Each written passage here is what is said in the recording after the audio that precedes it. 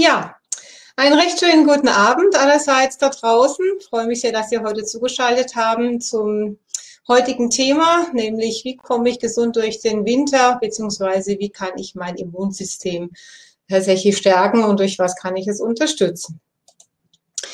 Jetzt weiß ich nicht, ob wir noch ein bisschen warten. Vielleicht kommt da noch der eine oder andere dazu. Vielleicht warte ich mal noch eine Minute und dann fangen wir tatsächlich auch an.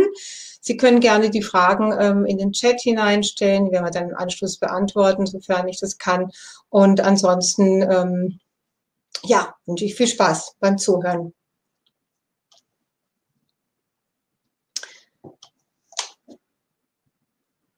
Gut, dann würde ich sagen, starten wir einfach mal mit dem Thema wir haben heute folgende Punkte, die wir gerne ähm, gemeinsam durchgehen wollen. Das ist einmal, was für Faktoren gibt es, um das ähm, Immunsystem gesund zu erhalten?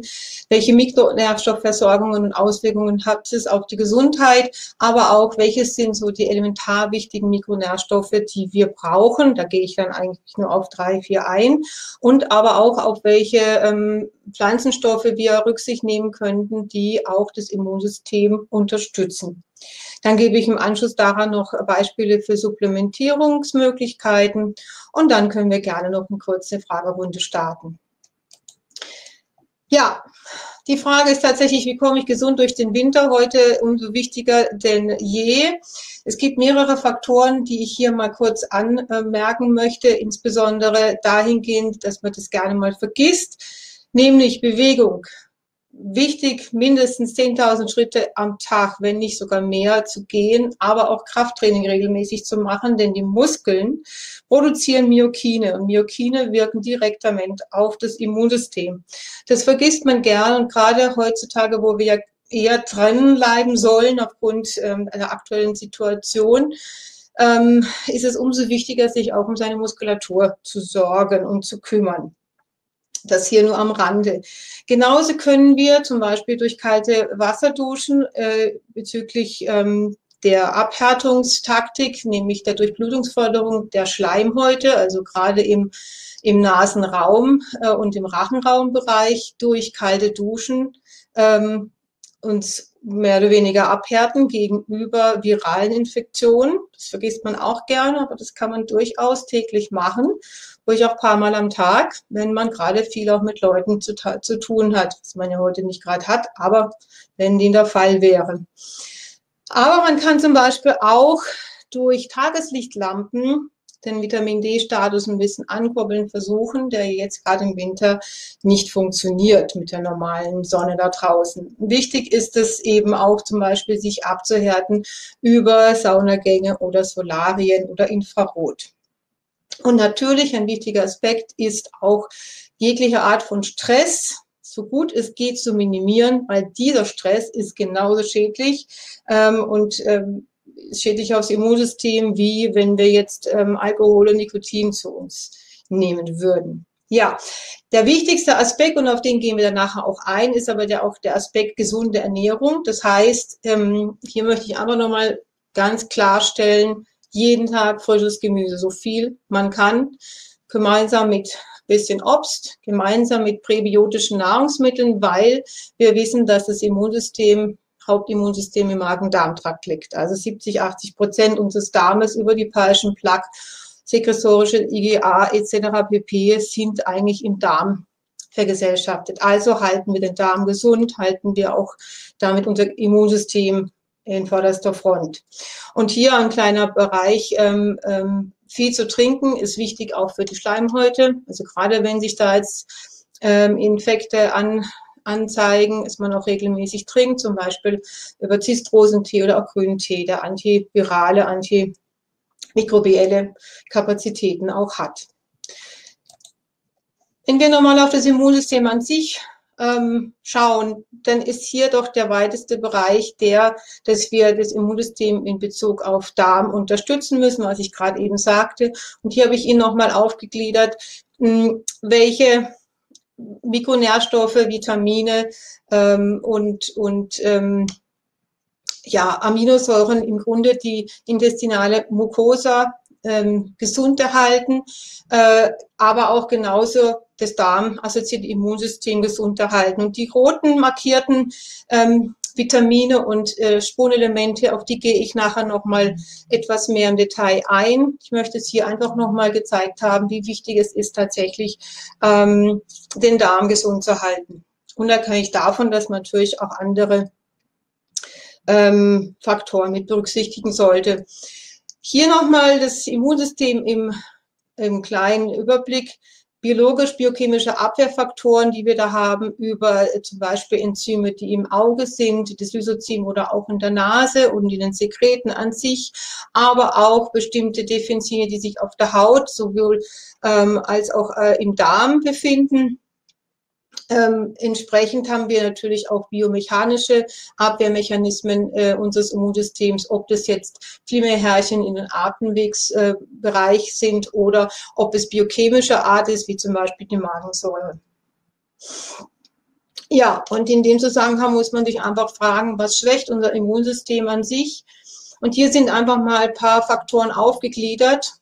Ähm, es ist auf jeden Fall die einseitige Ernährung, auf die ich jetzt gleich eingehen werde, weil man ganz klar sagen kann, der Ernährungsstatus bestimmt den Immunstatus. Je schlechter wir ernährt sind, desto schlechter ist unser Immunsystem. Ganz klar. Und wir haben den Punkt Stress erwähnt. Wir haben aber auch den Punkt Schlafmangel. Und gerade gestern habe ich in einer Radiosendung von einem Professor hier aus einer Uniklinik ähm, in Deutschland gehört, dass zwei Drittel aller Deutschen mittlerweile Schlafstörungen haben. Und das sind sowohl Durchschlafstörungen als auch Einschlafstörungen oder auch Schlafmangel äh, im Sinne von zu wenig Stunden Schlaf. Hier möchte ich einfach nochmal ganz klar auch hinweisen, wichtig jetzt ist wirklich auch eine Schlafqualität, ähm, auf die zu achten, weil im Schlaf regeneriert sich unser Immunsystem. Auch unser Gehirn-Immunsystem, die Endolymphe, ähm, wird eben gesäubert, gereinigt während der Schlafenszeit. Und deswegen ist es umso wichtiger, dass man hier auf mindestens sieben, acht Stunden gesunden Schlafes ähm, achtet, damit man das Immunsystem auch hier unterstützen kann. Dann ist natürlich auch wichtig ähm, das Alter, ob ich jetzt ähm, einen kleinen Säugling habe, der noch kein ausgebautes oder ähm, also noch ein sehr schwaches Immunsystem hat äh, oder ähnlich ein Sen Senior äh, im Altenheim mit 70, 80 Jahren, der auch ein verringertes Immunsystem hat oder ob ich einen normalen Erwachsenen habe, der ähm, viel Sport treibt, der natürlich mit Sicherheit sich auch gut ernährt und dementsprechend auch ein besseres Immunsystem hat. Also ist aber auch in dem Zusammenhang wichtig, hat derjenige chronische Erkrankungen, ob der Diabetes hat oder ob er zum Beispiel ähm, autoimmune ähm, Erkrankungen hat oder ob er auch Medikamente nehmen muss. Insbesondere sind hier die Antibiotika zu erwähnen, weil Antibiotika, wie wir ja schon im vorigen ähm, ersten Webinar zum Thema Mikrobiom gehört haben, ähm, unseren Darm tatsächlich nachweislich kaputt machen. Ja? Also wenn man eine Antibiose mal hatte, dann kann es bis zu einem Jahr gehen, äh, manchmal sogar zwei, drei Jahre, bis unser Darm wieder einigermaßen so weit ist, wie er mal war vor der Antibiose. Also das alles sind wichtige Parameter, die wir zu berücksichtigen haben, wenn es darum geht, das Immunsystem ähm, aufrechtzuerhalten, gesund zu erhalten. Ähm, und hier nochmal ganz wichtig, jetzt gerade in Bezug auf ähm, COV2, ähm, dass wir hier auch auf die ähm, Haut- und Schleimhäute Acht geben. Ja, da gehe ich aber gleich nochmal drauf ein. Und in dem Zusammenhang, als ich ja gesagt habe, das Wichtigste ist eigentlich ähm, Stress und Ernährung. Und da habe ich jetzt mal geschaut, was eigentlich die Deutschen so am, ja, im Durchschnitt essen. Und da ist doch schon ziemlich erschreckend, dass mindestens jeder Dritte Fleisch isst und nicht nur, ähm, also nicht nur Fleisch, sondern auch noch schlechtes Fleisch in Form von Schweinefleisch. Ähm, was jeder äh, fünfte ist ähm, Pasta, da haben wir wieder unser Gluten drin, es sei denn, das ist, ähm, naja, wie auch immer. Auf jeden Fall, das sind alles Dinge, die nicht besonders ähm, gut fürs Immunsystem sind und gerade mal zehn Prozent der Deutschen essen überhaupt Salate und Gemüse. Ähm, das hat das Bundesamt ähm, für Ernährung äh, erhoben. Und wenn man sich dann auch mal schaut, wie viel ähm, Gemüseportionen am Tag der Mensch dann zu sich nimmt, dann sind es ähm, bei den Frauen knapp drei, bei den Männern knapp zwei Portionen am Tag, wenn man weiß, dass man eigentlich fünf bis noch besser acht oder neun Portionen am Tag, also handvoll ist damit gemeint, zu sich nehmen sollte, um überhaupt in einigermaßen guten Mikronährstoffstatus ähm, aufrechterhalten zu können. Wenn man dann auch nochmal anschaut, was ähm, die Herkunft der Fleischprodukte anbelangt, dann haben wir hier ähm, Biofleisch wirklich im sehr minimalen einstelligen Bereich, was ähm, ja für sich spricht, würde ich mal sagen. Und jeder Dritte maximal kocht regelmäßig. Und das sind Zahlen aus dem Ernährungsreport diesen Jahres.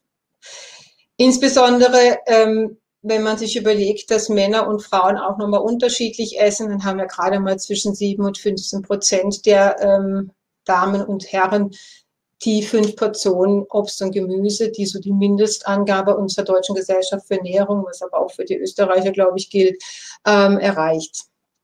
Ja, und ganz frappant ist es die Mangelernährung in den Seniorenheimen, geriatrischen Kliniken. Ähm, da habe ich hier eine Zahl von 2010 und ich glaube, die ist mit 60 Prozent mit Sicherheit nochmal gestiegen. Also sprich, ich glaube, dass die Mangelernährung ähm, in den Seniorenheimen noch schlechter mittlerweile ist.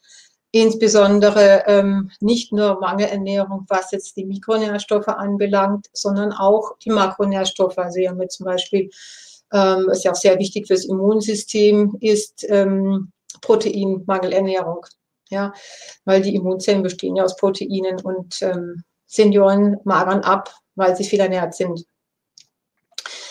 Ja, und Nährstoffdefizite haben entsprechende Auswirkungen und wir möchten uns heute eben auf das Thema verminderte Immunabwehr ähm, konzentrieren, die aber auch damit einhergeht, ähm, dass Schleimhautveränderungen ähm, und Hautschleimhautveränderungen ähm, mit nachgezogen sind, wenn wir Nährstoffdefizit haben. Und natürlich auch verzögerte Wundheilung diesbezüglich ist zum Beispiel auch ganz gut daran zu erkennen, wenn man zum Beispiel mal einen Herpes simplex hier am, am Mund, ähm, Schleimhaut oder hier an der Lippe bekommt ähm, aufgrund eines Infektes, dass die auch sich verzögert ähm, ausheilen lässt, wenn man hier schon mal einen schlechten Nährstoffstatus hat.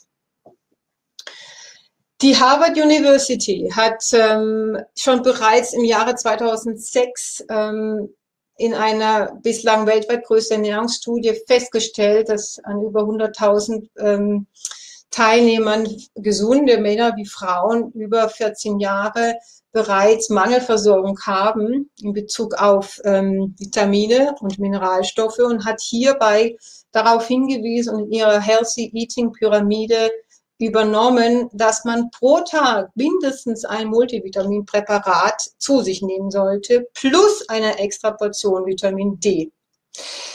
Diese Ernährungspyramide, die kann man hier auch gerne runterladen, ist, ähm, darf ich ja hier nicht zeigen, aber auf jeden Fall fand ich das schon mal sehr interessant, ähm, insbesondere als, als ich damals in den USA lebte, das ist jetzt auch schon 32 Jahre her, schon damals viele Nahrungsmittel ähm, supplementiert waren. Ob das jetzt die Milch war oder ob das ähm, das Mehl war. Ich habe das damals schon gesehen. Überall gibt es Supplementierungsmöglichkeiten, die man schon vor über drei Jahrzehnten gefunden hatte. Ich frage mich nur, wann das bei uns mal kommen wird. Na gut, also auf jeden Fall, die sagen eindeutig Multivitaminpräparat plus extra Dosis Vitamin D3. Upsa. Ja, welche sind aber so die, ich sage jetzt mal, die Basis-Mikronährstoffe für ein gesundes Immunsystem? Das sind zum einen die Vitamine A, B1, B6, B12, aber ganz klar auch Vitamin C und D, gemeinsam mit E und auch die Folsäure sowie das Niacin. Und wichtigste Spurenelemente sind in dem Zusammenhang Zink, Eisen, Selen, Magnesium und Kupfer. Ich werde auf die äh, Vitamin C und D und Zink eingehen. Und bevor wir darauf eingehen, möchte ich kurz nochmal darauf hinweisen, was eigentlich ähm, wichtige Einflussfaktoren sind ähm, auf die Wirkung von Mikronährstoffen hinsichtlich des Immunsystems.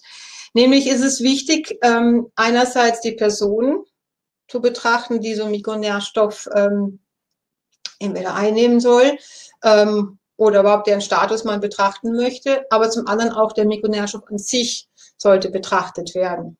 Wenn wir also die Person betrachten, die jetzt ähm, Mikronährstoffe ähm, zu sich nimmt, dann müssen wir erstmal schauen, wie ist die Grundversorgung, wie ernährt sich dieser Mensch, wie ist sein Gesundheitszustand, in welchem Alter befindet er sich, ähm, wie groß ist seine körperliche Belastung, ist es ein Hochleistungssportler oder ist es ein, ich sage jetzt mal, Sesselsitzer.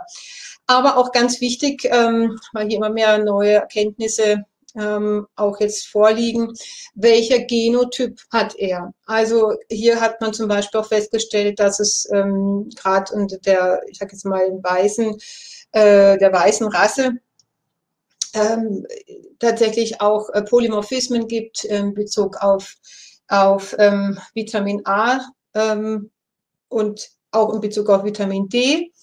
Und gut, das muss man nicht unbedingt mal berücksichtigen, aber man sollte zumindest wissen, dass ähm, gerade was das Vitamin A anbelangt, auch ähm, fast jeder zweite, also über fast 50 Prozent der weißen Rasse, muss man sagen, hier einen Polymorphismus aufweist und ähm, Retinol in die aktive Form Retinsäure gar nicht umwandeln kann.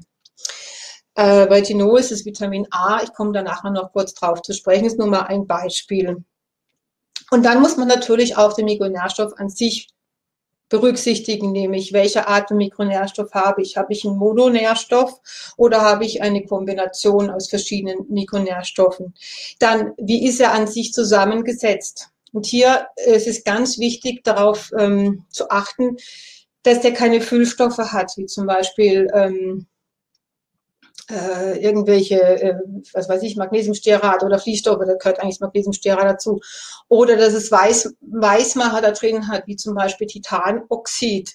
Das sind nämlich alles Stoffe, die nachweislich ähm, mittlerweile ähm, äh, sogar in Frankreich herausgenommen worden sind. Also was das Titanoxid anbelangt, wurde es dieses Jahr ähm, rausgenommen, ist nicht mehr erlaubt, weil es nachweislich eben Mikrobiom zerstört, beziehungsweise ähm, auch krebserregend sein kann. Und da muss man einfach darauf achten, was nimmt man für Mikronährstoffe zu sich, in welcher Form natürlich auch, also sprich die Dosis. Und auch ähm, sind es natürliche Mikronährstoffe, sind die synthetisch hergestellt. Und natürlich ist auch wichtig, wie lange man was supplementieren muss, um überhaupt es dann im, im Blutspiegel ähm, nachweisen zu können. Also Nährstoffe brauchen ein paar Monate, um überhaupt aufgefüllt äh, zu sein, wie zum Beispiel das Vitamin D äh, und manche gehen eben schneller, wie zum Beispiel das Vitamin C. Ähm, wenn wir jetzt auf das Vitamin C zu sprechen kommen, ist das eines der absolut wichtigsten Antioxidantien, ähm, welches das gesamte Immunsystem, sowohl das angeborene als auch das adaptive zelluläre Immunsystem ähm, unterstützt. Ähm, es akkumuliert sich selber in Immunzellen wie B, Lymphozyten und T-Lymphozyten und stabilisiert dort die Membran, die Zellmembran ähm, sehr stark, so dass die ähm, richtig ähm, gut arbeiten können. Ähm, entsprechend erhöht es aber auch die ähm, Immunzellen an der Anzahl oder hilft zumindest die Replikation dieser Immunzellen und erhöht damit die Infektionsresistenz. Zusätzlich ähm, erhöht es die Phagozytenaktivität der Makrophagen und wie ich schon sagte, es ist ein starkes ähm, Antioxidant, auch in Zusammenarbeit mit dem Selen und mit dem Vitamin E hier zu betrachten. Und was ich hier sehr ähm, wichtig finde, gerade in der aktuellen Situation Corona, hat man festgestellt, oder bringe ich nachher auch noch eine, eine Folie dazu, dass die Beatmungsdauer an sich herabgesetzt wird und auch der Zytokinsturm, der ja bei einer Covid-2-Infektion eben sehr gefährlich wird, ähm, runtermodulieren hilft. Vitamin C an sich verkürzt auch die Krankheitsdauer. Hat man ähm, zum Beispiel in einer Übersicht einer Meta-Analyse aus, äh, aus neun randomisierten klinischen Studien gesehen, wo man sowohl einmal präventiv manchen Patienten 5 Milligramm pro Woche bis zu 3000 Milligramm am Tag gegeben hat und das Ganze auch noch mit einer therapeutischen Einnahme bei Einsätzen einer Erkrankung der Infekt, also der, der oberen Atemwege. Und da hat man eben herausgefunden, dass die Kombination aus präventiver und therapeutischer Vitamin C-Supplementierung die Dauer der Erkältung an sich ähm, äh, reduziert. Das ist so im Schnitt bei einem halben Tag gewesen. Man weiß aber auch, dass es bis zu zwei Tagen gehen kann. Nachzulesen bei RAN, äh, vor zwei Jahren publiziert. Und natürlich hat man auch festgestellt, dass die Anzahl der Tage mit bestimmten Erkältungssymptomen, wie der zum Beispiel äh, des Brustschmerzen durch das Husten oder starke Fieber oder auch Schüttelfrost durch ähm, Vitamin C-Gabe in der Prävention und in der therapeutischen Ansatz, das ist die gleiche Studie, eben vermindert. Und man weiß aber auch, dass ähm, gerade Menschen mit erhöhtem Stress von einer prophylaktischen Vitamin C äh, Einnahme supplementiert ähm, profitieren. Also bei denen ist der Effekt, dass die Erkältungssymptome und auch die Dauer der Erkältung an sich und auch die Inzidenz einer Erkältung ähm, tatsächlich herabgesetzt ist, wenn die regelmäßig Vitamin C nehmen. Ist ja auch logisch, weil Menschen mit erhöhtem Stress ähm, brauchen umso mehr Antioxidantien. Vitamin C ist auch ein ganz wichtiges Agens in der antiviralen Immunabwehr. Und hier habe ich Ihnen mal eine Übersicht gegeben von verschiedenen Studien ähm, bezüglich ähm, der Untersuchung von viralen Infektionen. Wir haben hier eine Dosierung von 200 Milligramm bis zu 2 Gramm am Tag. Und wie Sie erkennen können, bei normalen Erkältungserkrankungen ähm, ähm, zum Beispiel bei einer Meta-Analyse wird die Inzidenz herabgesetzt, wenn man hier regelmäßig Vitamin C schon allein von 200 Milligramm am Tag gibt. Das ist eigentlich das, was man mittlerweile sagt, die, die Erhaltungsdosis beim gesunden Menschen sein sollte. Mindestens 200 Gramm, äh, Milligramm am Tag. Man sieht aber auch, dass eben, was ich vorhin schon erwähnte, Menschen mit hohem Stress, ob das jetzt Sportler sind, ob das Soldaten oder, oder Skifahrer, die ähm, viel draußen sind, äh, sind, die haben auch bei einer, einer Einnahme von 20 Milligramm pro Tag schon eine Reduktion ähm, von um die 50 Prozent einer Erkältungserkrankung. Wahrscheinlichkeit.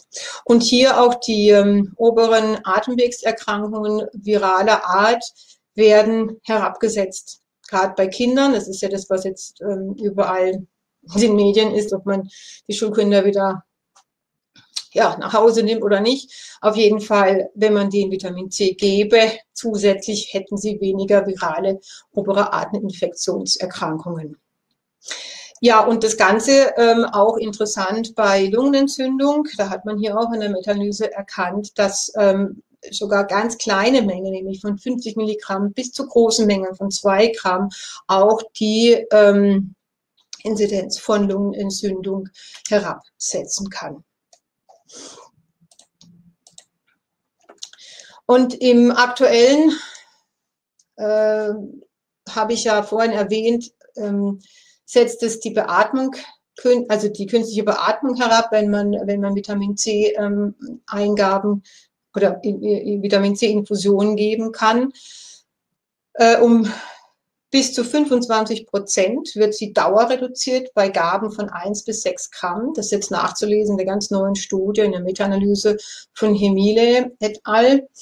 Ähm, was hier ganz wichtig ist, das hatte ich anfangs auch schon erwähnt, dass der, dieser Zytokinsturm auch hier herabgesetzt wird, dass aber auch die Lungenentzündung per se ähm, herabgesetzt wird, weil, wie gesagt, das hat ja, ist ein starkes Antioxidant und ähm, es schützt im Grunde auch Endotheliozellen vor einer Dysfunktion und damit negativen Konsequenzen.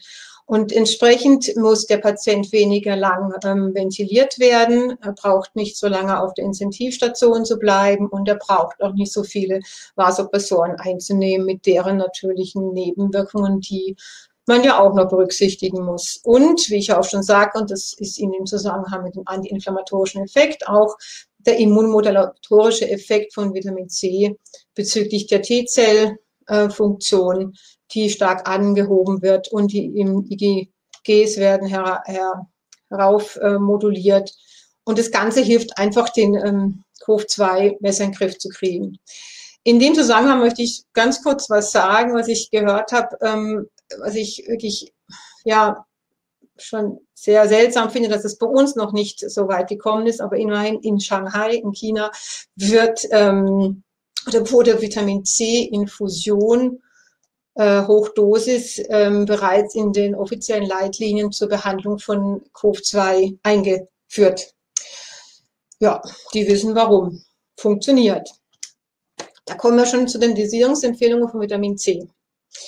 Die sind doch sehr heterogen wenn man sich die EFSA anschaut mit 80 Milligramm oder die Deutsche Gesellschaft für Ernährung mit 100 Milligramm, da kommen wir dann eher, wenn Sie sich nochmal an die ähm, vorige ähm, Folien mit den verschiedenen Studien erinnern mögen, ähm, eher auf diesen Dr. Levine zu sprechen, der eine normale Dosierung von 200 Milligramm pro Tag empfiehlt, aber eben auch bis zu 6000 Milligramm, ähm, natürlich je nachdem auch äh, was, was wir für eine Vorerkrankung haben.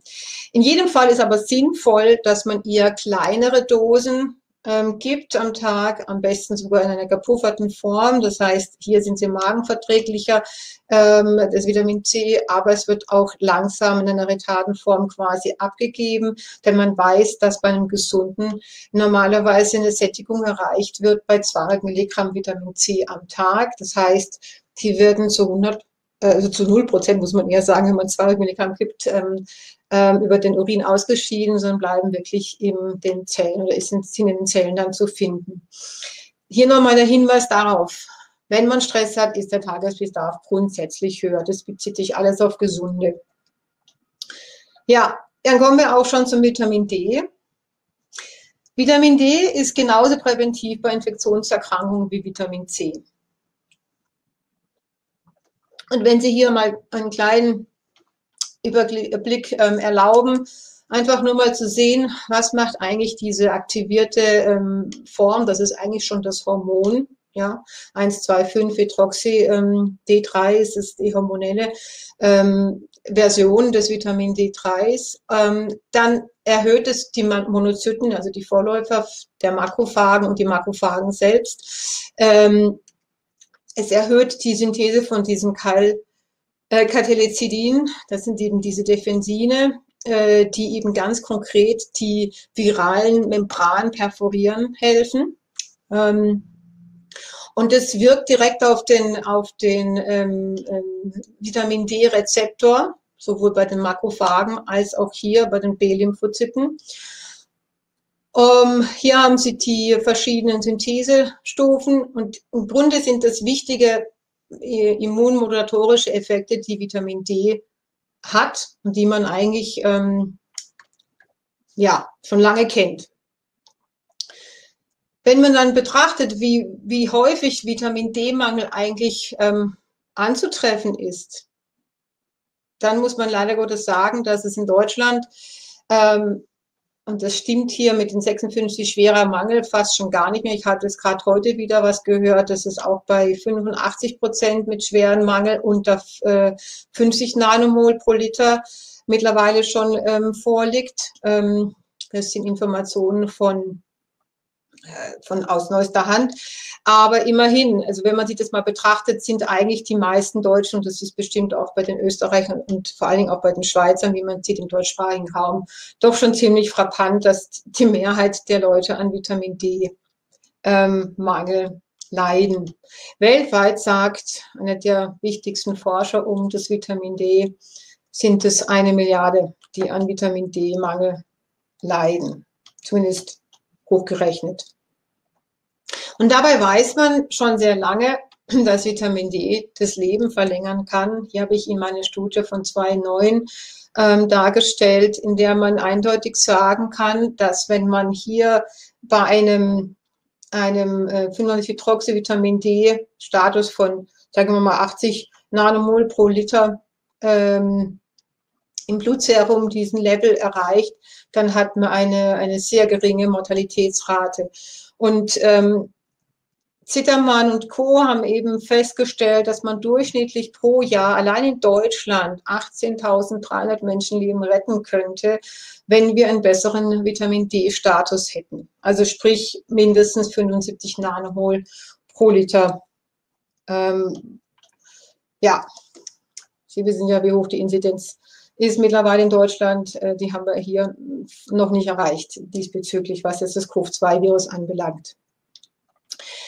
Man weiß aber auch, dass Vitamin D das Erkrankungsrisiko an sich minimiert. Und das hat man hier in einer Studie im Jahre 2006 äh, äh, in einer ähm, kontrollierten, placebo-kontrollierten Doppelblindstudie ähm, dargestellt, ähm, um Aloe und Co. herum, dass wenn man ähm, eigentlich gesunden ähm, über 36 Monate einmal 20 Mikrogramm Vitamin D äh, pro Tag und eine andere Gruppe mit 50 Mikrogramm Vitamin D pro Tag versorgt. Das eben über 36 Monate äh, hinweg.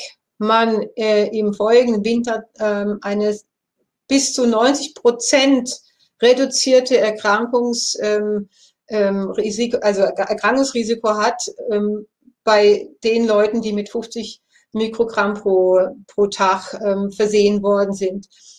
Ähm, also sprich, das ist im Grunde hier gar nicht mehr, gar nicht mehr ersichtlich. Ähm, aber ähm, wie gesagt, das weiß man schon sehr lange und seltsamerweise passiert ähm, immer noch nichts, was jetzt die Vorsorge mit Vitamin D anbelangt. Ja, Vitamin D ist wirksam bei Atemwegserkrankungen, auch in Bezug auf Asthma und in Bezug auf ähm, Asthmaverschlimmerung. Das wollte ich Ihnen hier nur mal kurz zeigen in einer Studie von 2018. Da haben wir wieder einen ganz ähnlichen Bereich, wieder so um die 75 Nanomol pro Liter Phenylhydroxyvitamin.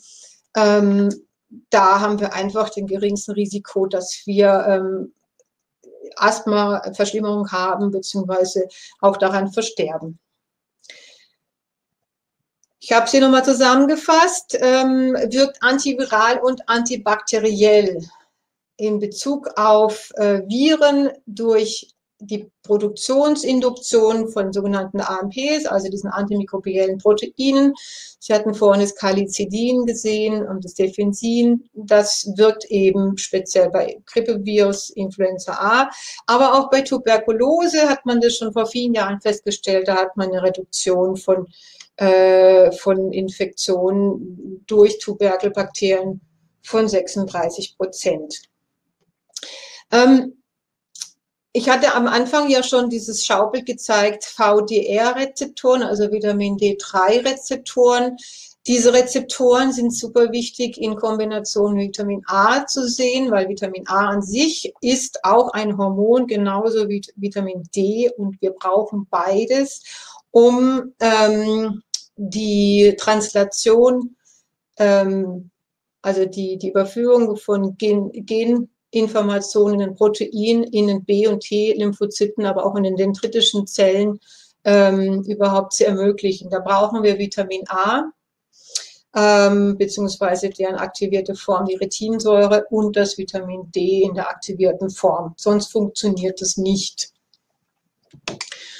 Und ich möchte hier noch einmal erwähnen, das zeige ich Ihnen gleich noch, es ist eben ein potenzielles prophylaktisches und therapeutisches Mittel bezüglich SARS-CoV-2-Infektion. Ähm, das wurde jetzt ganz neu publiziert von Xiui et al.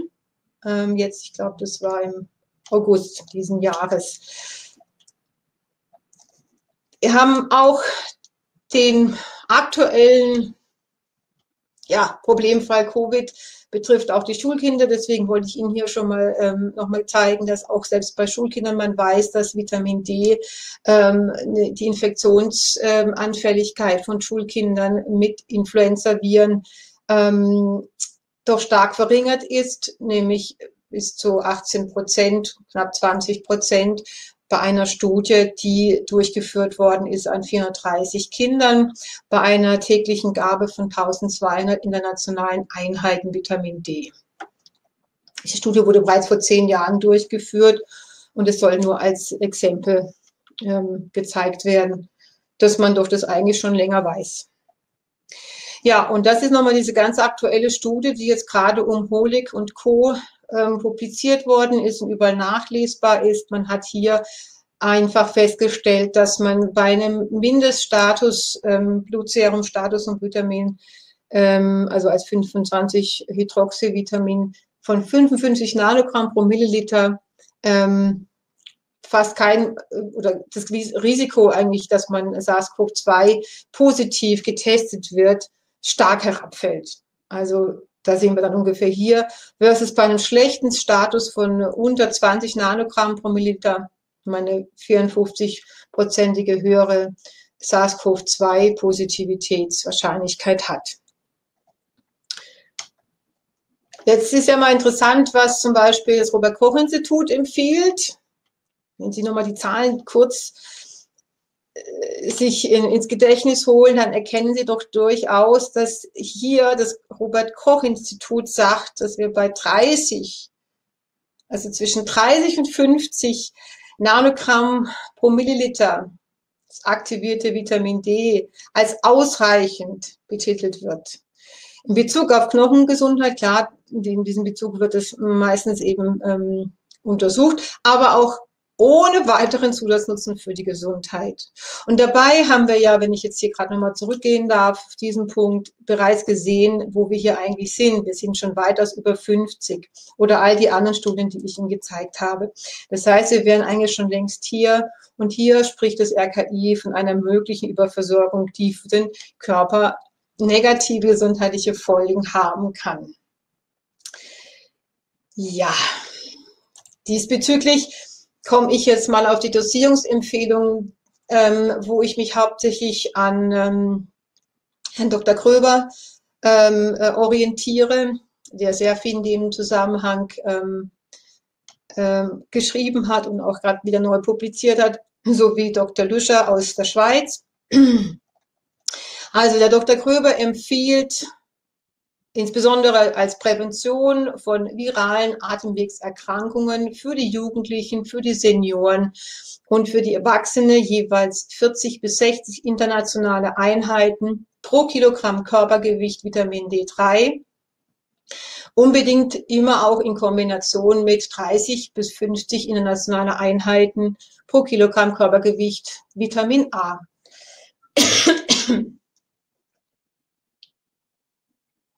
Und zwar am besten äh, in, in Tropfenform, zum Beispiel 500 internationalen Einheiten pro Tropfen als retinolhaltiges Öl. Ähm, wenn man das so mal auf den Durchschnittsmenschen umrechnet, dann sind es beim normalen Tagesbedarf im Sommer ungefähr 3.000 bis 4.000 internationale Einheiten. Denn man darf nicht unterschätzen, die meisten Leute sitzen ja auch im Sommer drin und gehen nicht mittags um zwölf raus, wo eigentlich der Sonneneinfallswinkel genau richtig wäre, um die Proform des Vitamin Ds über die Haut äh, zu stimulieren. Also auch hier brauchen wir Vitamin D-Versorgung und im Winter ist es natürlich entsprechend höher. Diesbezüglich sind es aber alles auf gesunde hm, Leute bezogene Dosierungsempfehlungen. Und hat man mal tatsächlich ähm, äh, die 150 bis 200 Nanomol pro Liter Erhaltungsdosis, die als gesund ähm, und für ein gesundes Immunsystem wichtig ist, erreicht. Ich sage jetzt wirklich bewusst erreicht, weil man das auch erstmal einpendeln muss, bis man da hinkommt, sofern man ähm, nicht schon jahrelang Vitamin D3 nimmt. Dann bräuchte man als Erhaltungsdosis 2000 internationale Einheiten pro Tag. Und jetzt kommt mir wieder die Frage, ist es besser täglich oder wöchentlich oder monatlich zu nehmen? Eindeutig täglich. Ich meine, normalerweise sind wir draußen. Also wir sind ja, ja, wie soll ich sagen, wir sind ja eigentlich auch Tiere, die draußen leben, normalerweise oder gelebt haben. Das heißt täglich. Täglich scheint die Sonne, auch wenn sie bedeckten Himmel haben. Ähm, täglich sollte man das einnehmen versus wöchentlich. Einfach weil die Verfügbarkeit, die Bioverfügbarkeit dann besser ist. Und es ist immer tatsächlich in Ölform eine bessere Einnahme, speziell auch wenn sie schon im Speichel aufnehmen und ein bisschen ähm, im Mund behalten in der Kombination mit Vitamin A, weil hier nochmal äh, Vitamin A mit Vitamin D wirkt aufs Immunsystem, auf die immunkompetenten Zellen in der Kombination am besten. Hier muss man aber eindeutig sagen, es hat ein Grazer ähm, ähm, Professor, der Professor Dr. Stefan Pils, der auch sehr viel an Vitamin D forscht, ganz klar ähm, den Punkt gesetzt, und das möchte ich hier auch nochmal ähm, äh, betonen. Das Vitamin D ist ja, wie gesagt, ein Hormon und es ist wirklich ähnlich zu behandeln wie ein Schilddrüsenhormon oder also wie Thyroxin oder wie Sexualhormone äh, und steuert eben unfassbar viele Gene. Und deswegen wäre es immer sehr sinnvoll, den Spiegel zunächst zu messen, bevor wir dann äh, die eigentliche Dosierungsempfehlung aussprechen. Ja, jetzt kommen wir zum nächsten, zum Spurenelement, ähm, dem Zink. Das Zink ähm, an sich ist ja ganz bekannt, dass es eigentlich das Immunsystem insbesondere was die antiviralen Eigenschaften anbelangt, unterstützt, aber eben auch die mukosale Immunität im Darmbereich.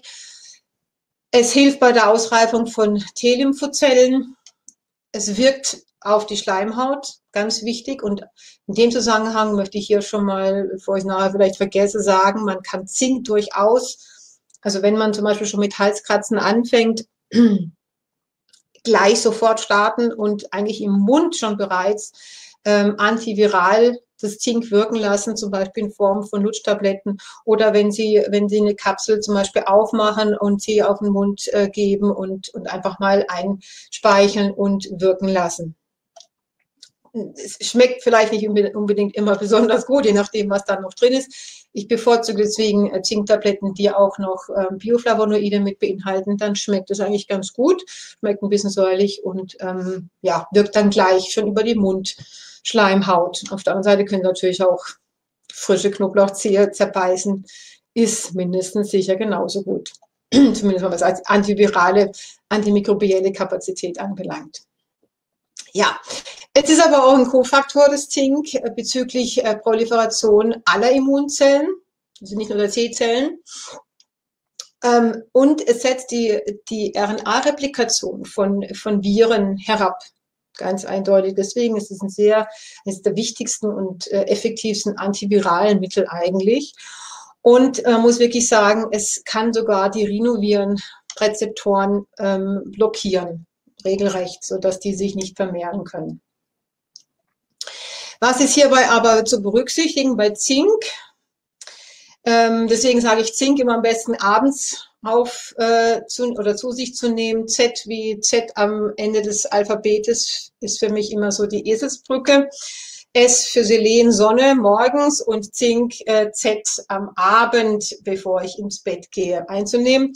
Weil nämlich Zink kann, also Zinkaufnahme an sich kann inhibiert werden, zum Beispiel durch äh, Phytate, Phytinsäure und andere Faserstoffe, ähm, die wir hauptsächlich gerne mal in Hülsenfrüchten äh, vorfinden, aber auch in Vollkornprodukten, wer die noch isst. Oder eben, upsala, was ist jetzt passiert?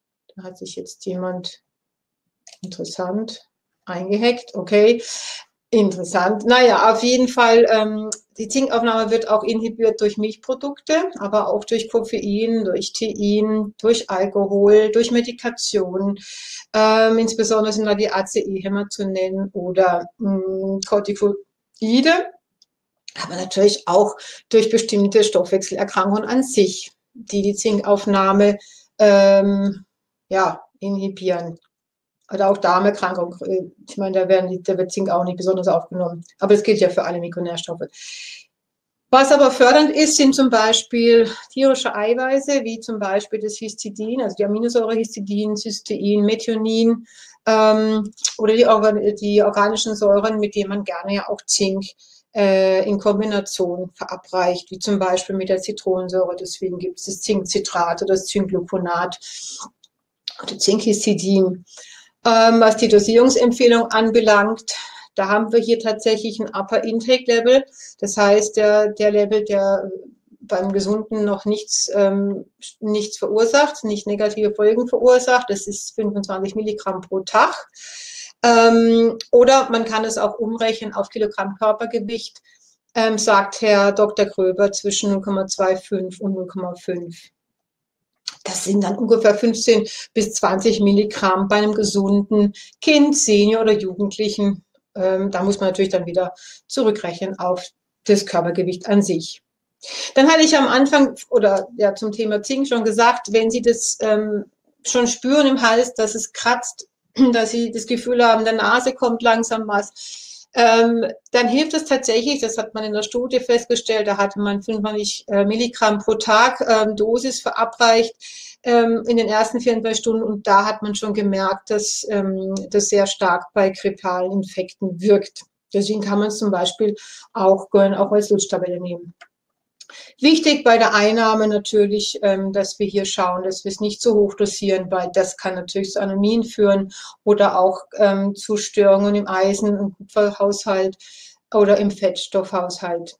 Ähm, man sollte das auch nicht zusammen mit Selen einnehmen, es sei denn, es gibt auch Hersteller, die das insbesondere in einer besonderen Form vorliegen haben, scheinbar, wo das sich dann nicht gegenseitig inhibiert in seiner in seiner Wirkweise. Also ich sage immer Z am Ende des Tages, S am Anfang des Tages.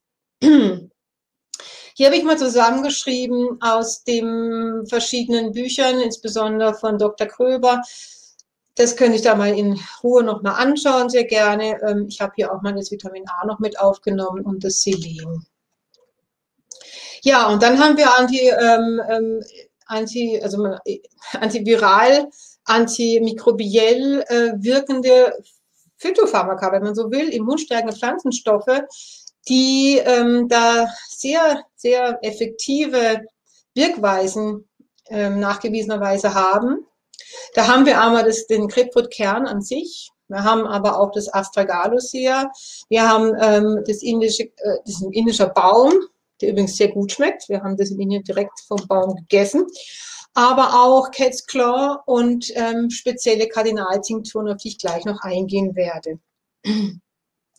Der Grapefruit-Kernextrakt ist schon sehr lange bekannt. Ähm, wenn ich hier mal kurz das hier erwähnen darf, ähm, von Buggy 97 ähm, bereits äh, erwähnt und mit Sicherheit auch schon viel früher, dass es eigentlich ein ganz wundervolles pflanzliches Antibiotikum ohne Resistenzbildung ähm, ist und auch ein wunderbares Virostatikum. Es ist tatsächlich nachgewiesen äh, bei äh, über 800 verschiedenen Bakterien, Viren, Pilzformen. Und wenn man ähm, berücksichtigt, dass man ähm, im Grapefruitkern auch ungefähr 50 Prozent Bioflavonoidanteil finden kann, und man weiß, dass äh, allein Bioflavonoide bis zu einer 20-fachen erhöhten antioxidativen Wirkung haben als ähm, im Vergleich äh, Vitamin C hat. Dann können Sie sich vorstellen, wie, ähm, wie aktiv, wie antioxidativ das wirken kann. Und es kann das Vitamin C an sich schon in seiner Wirkung das Zehnfache erhöhen und ist besonders wirksam, gerade bei Lippenherpes, der ja gerne mit einer Erkältungserkrankung auch einhergeht. Dann habe ich erwähnt, die ähm, chinesisch-indischen ähm, äh, Phytopharmaka, nenne ich sie, ähm, die sehr viele verschiedene immunstimulierende Effekte haben, die einerseits präventiv wirken bei erhöhtem Infektionsrisiko, aber auch zur therapeutischen ähm, ähm, Wirkweise herangenommen werden können, wenn man schon eine geschwächte Immunabwehr hat denn sie beeinflussen auch die Regulation der Monozyten, also sprich der Vorläuferzellen der Makrophagen, unserer Fresszellen. Sie aktiviert aber auch ähm, die B-Lymphozyten, damit sie auch wieder Antikörper bilden können und natürlich die Makrophagen direkt und sie erhöhen die Zytokinproduktion speziell für die Immunabwehr. Neem ist ein uraltes, in der indisch-ayurvedischen ähm, Kultur bekanntes Allheilmittel. Ich will da gar nicht groß drauf eingehen. Es ist einfach unfassbar äh, wirksam äh, bezüglich Viren, bezüglich Bakterien, aber auch Pilzen. Äh, in dieser Kombination ähm, zusammen mit dem Astragalus wirkt dann auch noch das Cat's Claw ähm, als starkes Antioxidant. Und in dieser Kom Kom Kombination unterstützen wir das Immunsystem auch noch von der Seite äh, durch sekundäre Pflanzenstoffe, was jetzt Mineralien und Vitamine allein in der Form vielleicht nicht ähm, können. beziehungsweise die Kombination an verschiedenen Substanzen ist einfach das Beste, muss man ehrlicherweise sagen.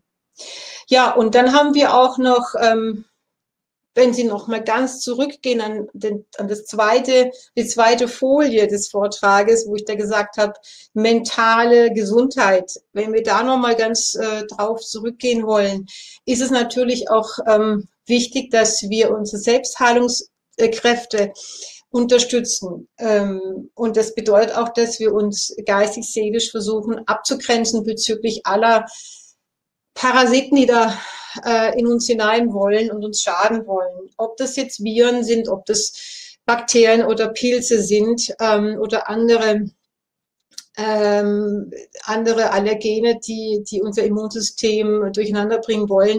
Auch eine seelische Komponente ist hier wichtig und da haben wir hier ähm, ein, eine, ein Kräuterextrakt aus äh, Grapefruit, Knoblauch, Lapatsche, Möhre und so weiter, Wermut, sehr, sehr ähm, effektive Substanzen, die insgesamt, jetzt sage ich mal, in der, in der Komplexität, wie sie hergestellt werden, nach sparingischer ähm, Art und Weise sehr äh, helfen, auch sich innerlich abzugrenzen gegen das, was von draußen ähm, auf uns eindringt. Man kann das innerlich einnehmen, tropfenweise man beginnt es auch einzuschleichen, kann dann das dosierend höher dosieren. Man kann es aber auch direkt hier auf den Thymusbereich setzen, hier ähm, von, von, von außen her das Immunsystem in Thymus mit anzuregen.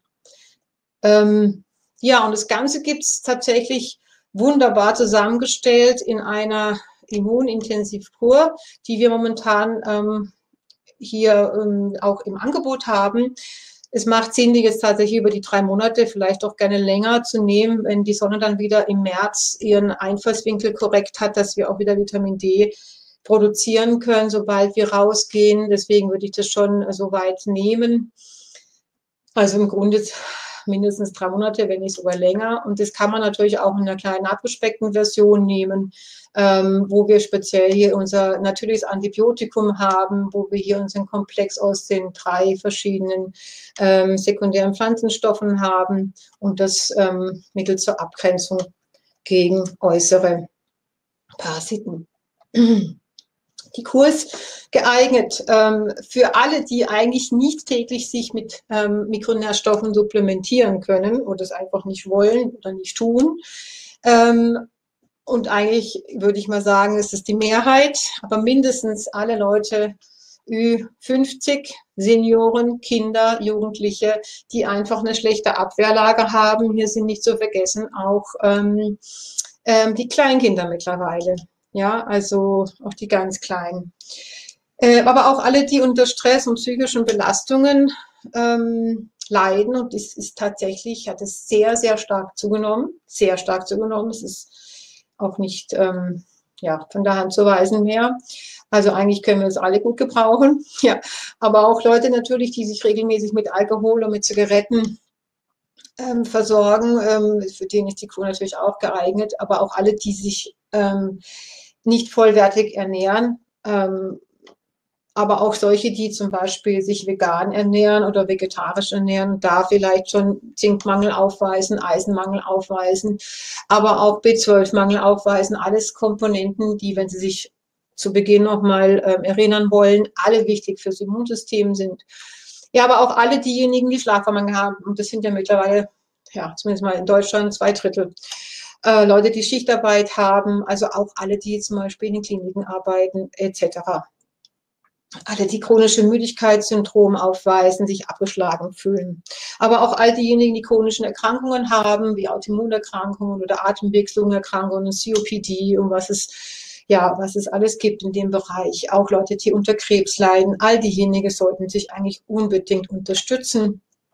Mindestens mit den Dingen, die ich erwähnte, ähm, sicher auch noch mit mehr. Und natürlich all diejenigen, die jetzt Antibiotika nehmen müssen, hier bitte nochmal den Hinweis auf unser Webinar, äh, das Mikrobiom, Antibiotika auch immer noch zusätzlich mit Probiotikern und Präbiotikern im Abstand von zwei Stunden einnehmen. Sowie all diejenigen, die Medikamente einnehmen müssen, weil auch Medikamente natürlich das Mikrobiom kaputt machen können. Ja, wenn man einen akuten Fall hat, zum Beispiel von Husten, Heiserkeit oder ähm, auch schon entzündete Schleimhäute, dann haben wir hier auch noch einen Kräuterauszug aus vier verschiedenen Kräutern. Da gehört der Quendel dazu, das ist der wilde Thymian, das Eibisch, der Fenchel und das Süßholz. Äh, und das kann man eigentlich dann auch ähm, zwischen vier und sechs Esslöffel am Tag nehmen, je nachdem ob Kind oder Erwachsener, ähm, relativ zeitnah, wenn schon sich die ersten Symptome einstellen. Ja, und zusammengefasst ähm, will ich einfach nochmal sagen, dass wir auf jeden Fall Vitamin C als Prophylaxe und im Therapiefall bei Erkältungserkrankungen ähm, einsetzen, ähm, weil es wirksam ist. Insbesondere wenn wir jetzt unter starkem Stress leiden, dann wirkt es noch umso stärker. Kleinere Mengen sind sinnvoller als jetzt Hochdosen. Beim Gesunden, sage ich jetzt mal, ähm, Anders jetzt bei jemand, der wirklich ähm, erkrankt ist, da haben wir gesehen, ähm, gibt es äh, auch höhere Dosen. Ähm, dann ist die gebufferte Form, also die Kombination mit einer, mit einem, ähm, mit einem ähm, Ascorbat, also in Ascorbatform äh, sinnvoller, weil es ist besser magenverträglich und es wird auch ähm, langsamer abgegeben. Und in der Kombination mit einem ähm, OPC können wir die, ähm, die Wirksamkeit von Vitamin C verzehnfachen, wenn nicht sogar noch mehr, je nachdem, welche OPCs wir dann noch mit drin haben. Ähm, Im Übrigen haben wir das in unserer Kur tatsächlich ähm, genau in dieser Form mit verschiedenen OPCs wie Rutin, Quercetin ähm, als Ascorbat vorliegen, auch in einer schönen Dosierung von 500 Milligramm. Also kann man damit gleich starten. Ähm, und dann auch ähm, der Zusammenhang mit Vitamin D und Ateminfektionserkrankungen wirkt eben Vitamin D auf jeden Fall ähm, insbesondere dahingehend, dass das Risiko einer Atemwegserkrankung herabsetzt und wenn man es dann schon mal hat, auch bei der Therapie sehr wirksam ist, immer auch im Zusammenhang zu sehen mit der Einnahme von Vitamin A.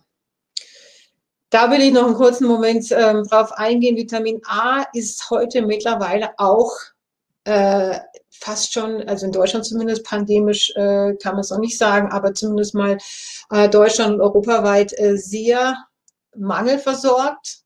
Und wenn man einen Status bei einem Gesunden mit Vitamin A ähm, ähm, sagen wir mal, in, in, in Tagesdosis aufrechterhalten wollte, die gut ist fürs gesund, also für ein gesundes Immunsystem, dann nur mal als, als Beispiel müsste man 1,4 Kilogramm frischen Brokkoli essen, um überhaupt so viel Vitamin A zu, auf sich, äh, also zu sich zu nehmen.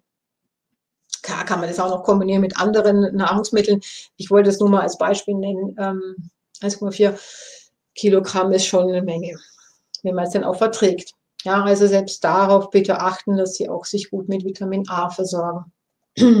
Ist übrigens hoch äh, dosiert in Innereien, insbesondere in Leber. wenn man da einen guten Biobauern ums Eck hat, kann man sich ruhig auch ab und zu mal eine gute Rinderleber holen. Das nur am Rande. Ja, und äh, man hat eben auch noch das Zink. Innerhalb von 24 Stunden habe ich gesagt, wenn Sie jetzt schon Kratzen spüren im Hals, ähm, nehmen Sie es sofort, dann spüren Sie auch relativ bald, ähm, dass das wieder abklingt, bevor es richtig ausbricht.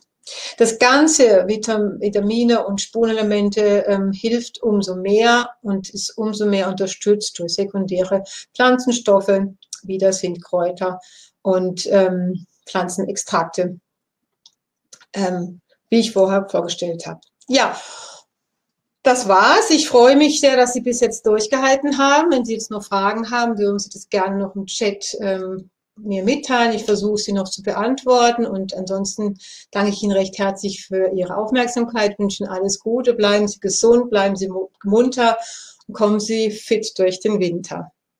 So, jetzt schauen wir mal, was wir an Fragen hier haben. Hallo, werden nur die Bilder eingeblendet. Aha.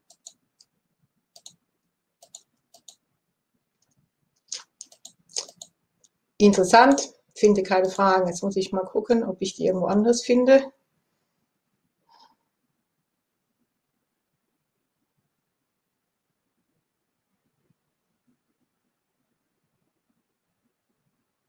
Keine Fragen. Okay.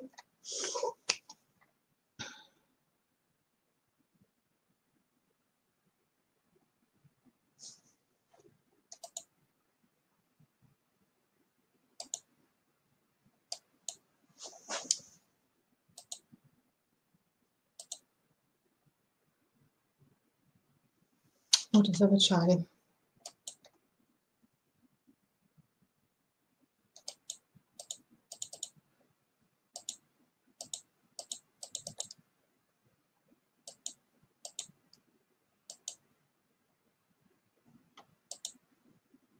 Hm? Oh, das ist so schlecht zu sehen. Also ich habe hier irgendwo, wenn mich noch jemand hört, ich, ich, ich, ich sehe diese, diese, diese Fragen sind leider Gottes abgeschnitten. Ich weiß überhaupt nicht warum. Eine Elisabeth Kremsel-Ressel. Ähm, ah, ich glaube, ich kann sowas erkennen mit Krebsfrüht-Tropfen. Genauso wirksam wie die Kapsel. Ich sag mal so, alles, was über die Speichel, über den Speichel schon mal aufgenommen werden kann, wirkt natürlich umso schneller. Und wenn Sie etwas mit ähm, in flüssiger Form aufnehmen können, ist es mit Sicherheit potenter. Aber wenn Sie genügend an Kapseln zu sich nehmen, werden Sie mit Sicherheit auch die gleiche, das gleiche Ergebnis haben.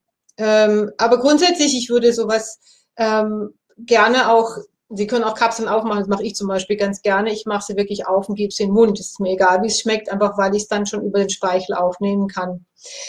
Aber natürlich können Sie es auch einnehmen und ähm, entsprechend auch vielleicht höher dosieren, je nachdem, muss man, auch, äh, muss man ausprobieren.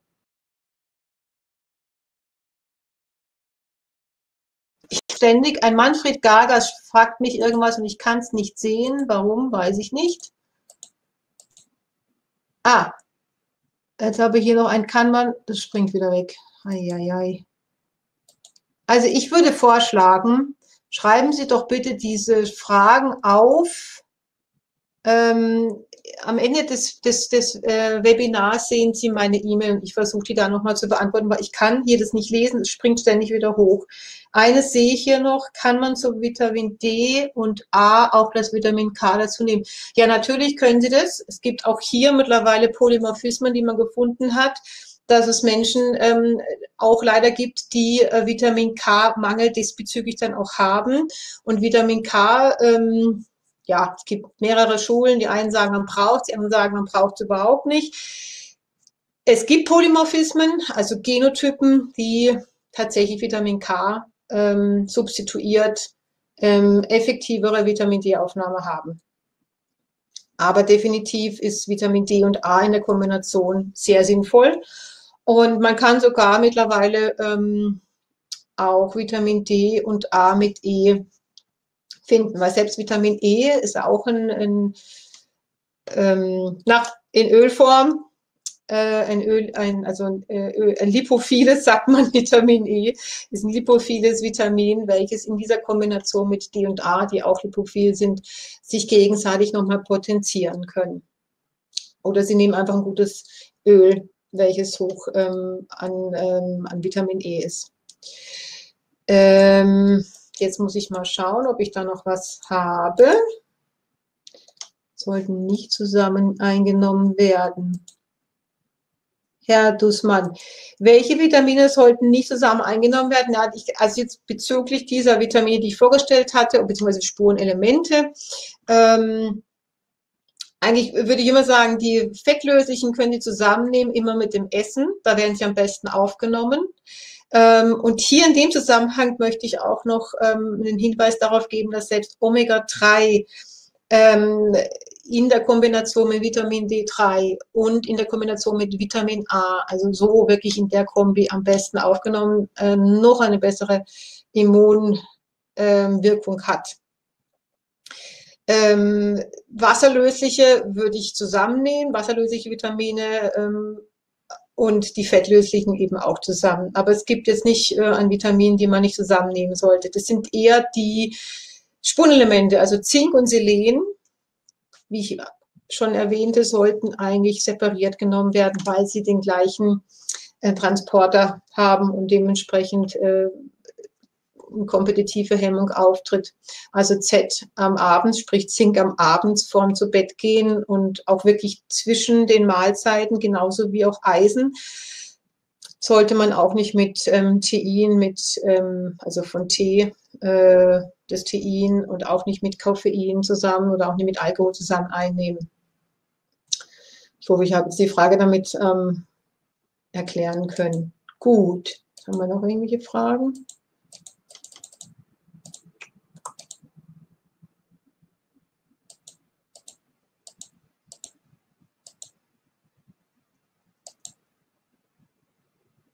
Wie viel Vitamin C geht als maximale Dosierung oral pro Tag? Da gibt es kein Upper Limit in dem Sinne, wie es zum Beispiel bei Zink oder Selen oder auch Vitamin A der Fall ist, weil ähm, Vitamin C ist wasserlöslich und wird über den Urin ausgeschieden. Und ich sagte, dass bei 200 Milligramm pro Tag eigentlich schon die, oder sagen wir pro Gabe, die, die Aufnahmekapazität des Gewebes erreicht ist. Und alles, was darüber hinaus gegeben wird, wird eigentlich wieder ausgeschieden. Deswegen ist Vitamin C tatsächlich auch ähm, nicht gefährlich in dem Sinne. Linus Pauling ähm, hat bis zu 17 Gramm am Tag eingenommen, meines Wissens. Und ist über 80 Jahre alt geworden. Aber Vitamin C ist wasserlöslich, da haben Sie kein Problem diesbezüglich. Gut, was haben wir denn noch?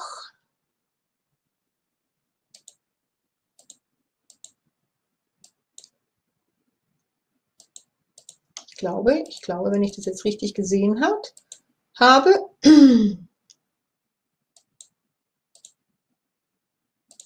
sind wir eigentlich so weit, so gut, ganz durch mit den Fragen. Was habe ich noch? Gut. Ja, also ich hoffe, ich habe alle Fragen beantwortet. Dann möchte ich nochmal herzlich danken für das Zuhören und das Ausharren. Bis dahin, ich wünsche Ihnen alles Gute, haben Sie einen schönen Abend und bleiben Sie gesund. Bis dahin.